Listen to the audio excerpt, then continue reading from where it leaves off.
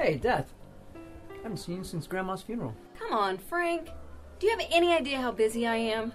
I mean, between like the measles outbreak and rampant diabetes, not to mention those damn Teslas exploding, I have more work than I can possibly keep up with. I know. But this time, um, We both know that you're not serious about this. You're not going to kill yourself. Plus, you always screw it up anyway. what? I might have a peanut allergy. Yeah? like the time you tried to OD on gummy vitamins? Don't remind me. I had to go to the doctor because I was peeing neon yellow for weeks. This is not right. This is this is definitely not right. What the? I think I'm dying. I might, I might be dying. Death, where are you? Do I have superpowers? Oh my god. I feel like the Hulk. Whoa. I wonder if uh, everything else is gonna turn green. Oh, oh, wait, wait. What about the time you adopted an entire litter of pit bull puppies, hoping that they might maul you? You know, they're much sweeter than they are portrayed on TV. What's this? You know, you look awesome. Where'd you do your hair? I like this look on you. No, you know what? Stop it. I'm not taking you with me. Oh, come on, Death. I missed you. You gotta stop this, Frank. We both know you like me. I mean, why else do you keep on showing up? It's my job. Oh. What about when I had pneumonia?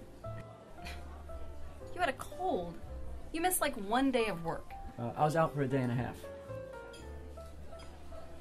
Hello, Frank and Death. God. Death.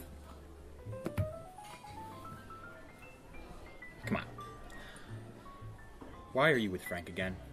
People are watching, they're gonna start asking questions.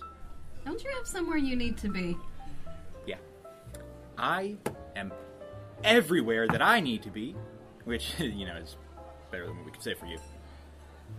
Now, Frank, listen. I gotta tell you something. I've been sending a lot of hot chicks your way.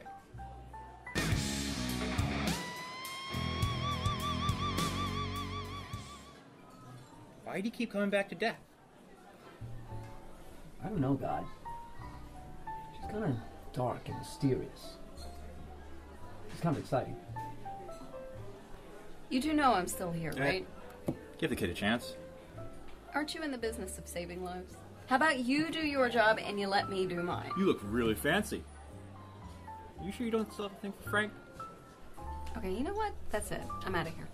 Wait, you're leaving so soon? Oh, yeah? Tough guy? You want to do this? Fine. Take one bite.